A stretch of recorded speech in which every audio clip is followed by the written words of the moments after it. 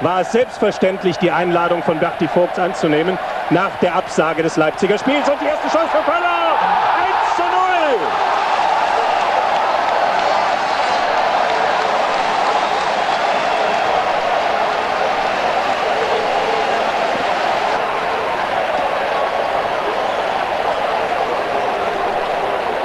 Nach 28 Sekunden macht Rudi Völler sein 40. Länderspieltor. Hier sehen Sie den Pass von Klinsmann.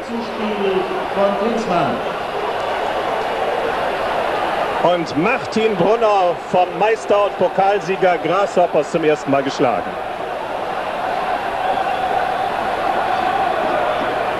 Schöner Pass in die Tiefe, wie man hier sieht. Und dann der Rudi Löst sich lässt dem. Torwart Ne? keine Chance. Ist natürlich ein Start nach Maß für